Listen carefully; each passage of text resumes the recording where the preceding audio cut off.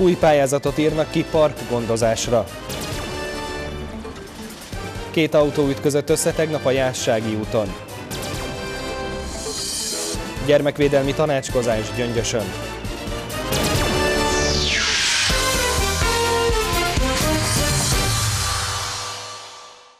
Jó estét kívánok, ez az aktuális, jönnek híreink részletesen.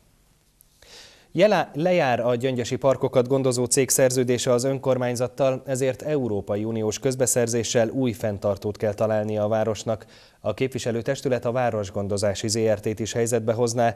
Kérdés, hogy képes lesz-e a park fenntartásra. Mindenről a keddi döntés előttben volt szó. A zöld területeket jelenleg gondozó cég 20 éve végzi a gyöngyösi parkok fenntartását, szerződése azonban jövőre lejár, így a városnak Európai Uniós közbeszerzést kell kiírnia a szolgáltatás elvégzésére. Az erről szóló előterjesztésről csütörtökön szavaznak a képviselők. Világos a önkormányzat célja, referenciával rendelkező, igényes és a lehető legolcsóbb szolgáltató végezze ezt a munkát, lehetőleg úgy, hogy egységes egészként kezelve a jövőben immár Mátrafüredet és Gyöngyösön mindazt, ami ide bevonhatunk, hiszen egy egészre kért ajánlat szokott a legkedvezőbb lenni. Az önkormányzat szívesen látná saját cégét, a Városgondozási ZRT-t is a parkok fenntartójaként, ezért az egyik lehetséges forgatókönyv szerint szakmai tervet kérnek a jelenleg a Mátrafüredi parkokat gondozó cégtől, a nemzetközi közbeszerzés csak ezt követően fogják kiírni. Ezzel kapcsolatban azonban még vannak kérdőjelek. Én azt gondolom, hogy talán picit, picit előkészítés nélkül csaptunk bele. Tehát a, a végértének nagyon-nagyon, hogy mondjam, régen le kellett volna tenni, ha komolyan gondolja, hogy parkosítási tevékenységet, üzletágat fejleszt, akkor egy nagyon részletes üzleti tervet, hogy megérje. A parkfenntartás mellett szennyvízszolgáltatással és hulladékszállítással kapcsolatos kérdések is a képviselők elé kerülnek csütörtökön. A testület ülését a Gyöngyösi Televízió élőben közvetíti. Összeütközött két autó tegnap korán este Gyöngyösön a Jássági és a Kolozsvári út kereszteződésében. Egy fiatal lány kirepült az autóból, őt a mentők kórházba szállították. Ahogy a képen is látszik, nagy erejű ütközés történt tegnap kora este Gyöngyösön, a Jássági és a Kolozsvári út sarkán. A balesetben a kis teherautó utasa kirepült a járműből, őt a mentőszolgálat munkatársai kórházba szállították egy Mátrafüredi lakos úgy közlekedett gépjárművével, hogy nem adott elsőbséget a helyi férfi által vezetett gépjárművének, melynek következtében összeütköztek. A baleset során, amelynek körülményét a gyöngyösi rendőrkapitányság vizsgálja, egy fiatalkorú lány sérüléseket szenvedett. A két gépjárműben összesen négyen utaztak, közülük hárman saját lábon tudták elhagyni a roncsokat. A baleset nagy erejét mutatja az is, hogy a terepjáró becsapódott a ház kerítésébe. A tűzoltók a bejelentést követően két gépjárművel vonultak a helyszínre. A kiérkező tűzoltók a helyszínen a forgalmi akarálynak a megszüntetését végezték, illetve az utat letakarították. A járművekben mindösszesen 3 millió forintos kár keletkezett. A jövő hét elejéig még csúszós, nedves útburkolatra kell számítanunk, ezért a hatóságok fokozott figyelmet kérnek minden közlekedőtől. Gyermekvédelmi tanácskozást tartottak Gyöngyösön a Gyermekjóléti Központ szervezésében. A tanácskozáson a szakemberek beszámoltak az elmúlt évben a gyermekjóléti ellátások terén végzett munkáról és az együttműködés tapasztalatairól. Az elmúlt évben 30 gyermeket vettek védelembe, így összesen 88 gondozott gyermek volt gyöngyösön az év végén. Terült ki a Gyermekvédelmi Központ beszámolójából. Az egészségügyi hatósági és gyámügyi szervek már tizedik alkalommal ültek össze, hogy átfogó képet adjanak a jelzőrendszer működéséről és a Gyermekjóléti Központ 2012-ben végzett feladatairól. Készenléti ügyeletet biztosítunk már egy éve, ez azt jelenti, hogy állandó telefonos segítséget tudunk biztosítani krízis helyzetbe kerülő családoknak és gyermekeknek azonnal a nap 24 órájában. Kórházi szociális munkát biztosítunk, kapcsolatügyeletet, amely vállással érintett gyermekek kapcsolattartását segíti a szülők, vagy akár esetlegesen a nagyszülők között. Az elmúlt évben utcai szociális munkát is végeztek a Gyermekjóléti Szolgálat családgondozói, hogy a csellengő gyerekeket megkeressék a városban és a kistérségben. Ilyen esetekben találkozhatunk csellengő, olyan csellengő gyerekekkel, akik teljesen cél nélkül vannak, éppen ott, ahol vannak, és a nagyon nagy tapasztalatunk volt, hogy a szakellátásból szökött gyerekekkel is nagy számban találkoztunk ilyenkor. Úgyhogy ilyen esetekben természetesen felvettük a kapcsolatot a gyerek otthonnal, ahonnan a gyerek éppen szökésben volt. Tavaly három gyermekotthonból szökött gyermeket találtak a szolgálat munkatársai, és közel 40 céltalanul bolyongó, játszótereken bandázó gyermek esetében jártak el. Fontos a jelzőrendszer tagjainak, a védőnők, a szociális szolgálat, a rendőrség, a közoktatási intézmények és az állampolgárok együttműködése, hogy a gyerekek veszélyeztetettségét megelőzzék, a szegénység és a gazdasági válság következményeit enyhítsék, hangzott el a tanácskozáson. A prevenció és a családokkal történő szoros együttműködés a jövőben is fontos feladata lesz a központnak, tette hozzá az intézményvezető. Április 8-án és 9-én lesznek az óvodai, valamint iskolai beiratkozások. Ezekben az időpontokban reggel 8-tól este 6-ig lehet beiratni a különböző intézményekbe a leendő óvodásokat és iskolásokat. A beiratkozások előtt a legtöbb iskolában nyílt napot is tartanak. Már kint vannak a plakátok az intézményekben, melyekben az óvodai és iskolai beiratkozások időpontjáról tájékoztatják a szülőket. Az óvodai beiratkozások időpontját most már tudjuk, egy kicsit korábban van a megszokott időtől, tehát most április 8-án és 9-én reggel 8 órától 18 óráig lehet beiratkozni a gyerekekkel.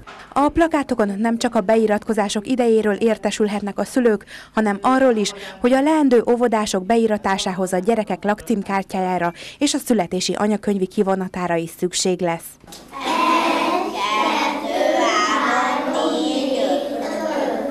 Számolnak az elsősök és velük együtt a még óvodába járó nagycsoportos gyerekek azon a nyílt napon, amit az Arany János általános iskola szervezett a szülők és a leendő iskolások számára.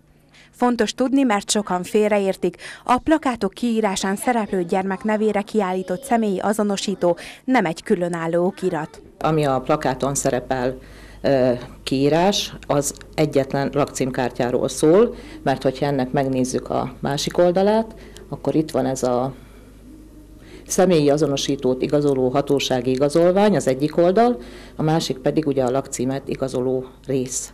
Tehát egyetlen egy darab okiratról van szó. Az anyakönyvi kivonatot kérheti az iskola, de nem kötelező. A beiratkozásnál elkérik a szülőktől az iskola érettséget igazoló dokumentumot is, melyben a gyerekek iskola érettségét vagy éretlenségét igazolják. Ez azt jelenti, hogy azoknak az iskola köteles gyerekeknek is be kell iratkozniuk, akik egyébként még maradnak oviban. Gyöngyösen idén közel 300 gyerek kezdi meg az óvodát, és ugyanennyi megy majd iskolába is.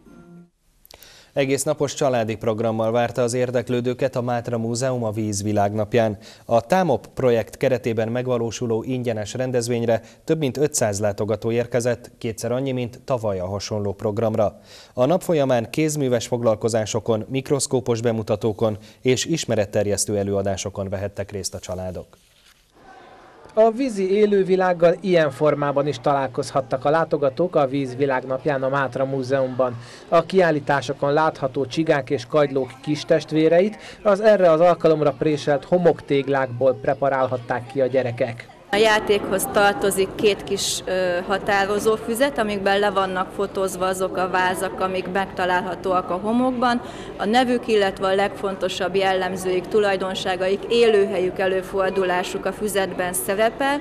Ezek alapján egy kis leltávi kártyát, cédulát tölthetnek ki a gyerekek, és így mint egy mini gyűjteményt vihetnek haza. Ez pedig az akvárium készítő foglalkozás. Lajer Márta és kollégái segítségével a gyerekek papírakvárium akváriumot készítettek, és közben a vízi világról gyűjtögették az ismereteket tapasztaltak a mai gyerekek, és olyan szakkifejezésekkel sorolják, hogy milyen növények és milyen típusú halak kellenek az akváriumban. Természetesen vizet nem öntünk bele.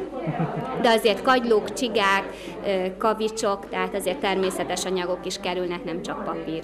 Kövek és rák, meg két hal.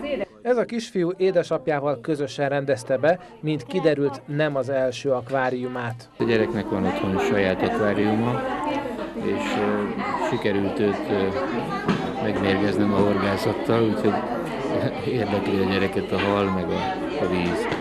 A szervezők ezen túlmenően is igyekeztek olyan programokat kitalálni, amelyek az egész család számára több órás múzeumi élményt biztosítanak. Ezekre a programokra egész nap a családok ingyen jöhetnek a múzeumba, és ezek a programok nagyon gazdagok, és minden korosztálynak szólnak, hiszen a családokban is minden korosztály részt vesz a, a, az életben, és így itt vannak a nagyszülők, az unokákkal, a, a gyerekekkel, a családok együtt vesznek részt a játékban például a nemezelésben. Ezen a víz világnapjára szervezett foglalkozáson a víz is megjelent a maga valójában. A nemezelő műhelyben halat, békát, csigát, kagylót formázhattak gyapjúból a víz segítségével.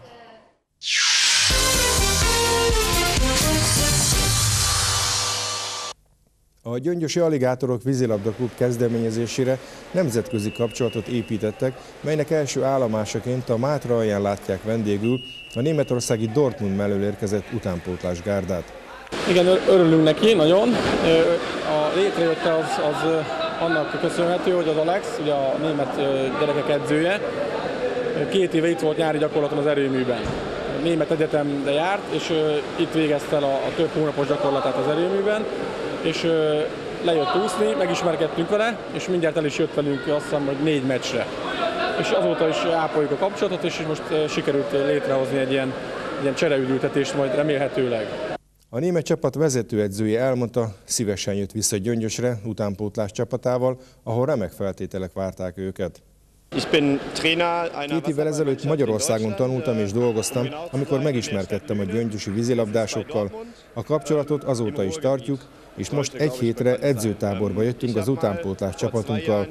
Mátraföleden lakunk, naponta két edzést hajtunk végre a gyöngyös úszodába, és barátságos mérkőzés is játszunk a helybéli csapattal. A vendégcsapat játékosai délelőtt egyéni úszóedzéseken és tornatermi foglalkozásokon készülnek fel a hazai bajnoki mérkőzésekre.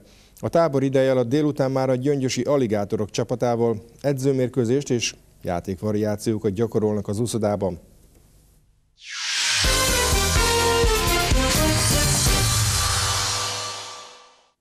Hiába a rezsicsökkentés mégis duplájára nőhet a márciusi gázszámla, közölte a pénzcentrum.hu.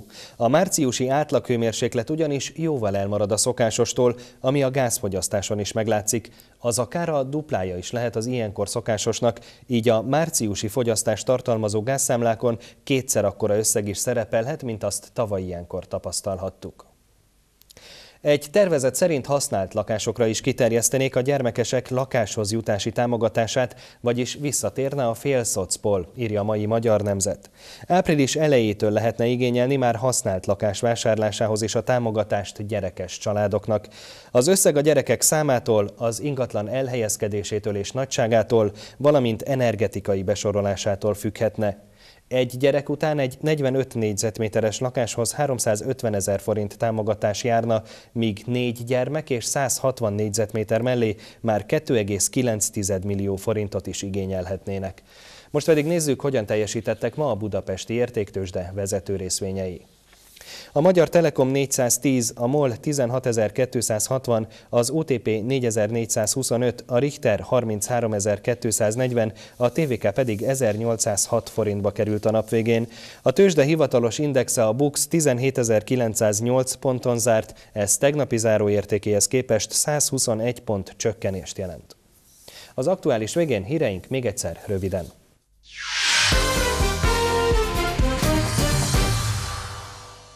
Új pályázatot írnak ki pargondozásra. Két autó ütközött tegnap kora délután Gyöngyösön. Gyermekvédelmi tanácskozást tartottak a Gyermekjóléti Központ szervezésében. Április 8-án és 9-én lesznek az óvodai és iskolai beíratások. A Víz világnapján ingyenes családi programokkal várta a látogatókat a Mátra Múzeum.